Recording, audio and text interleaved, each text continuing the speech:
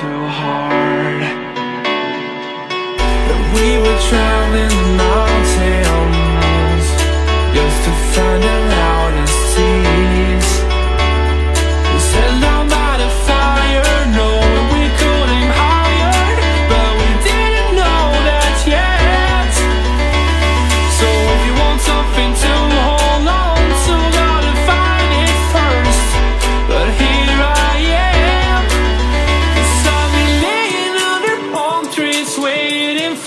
summer,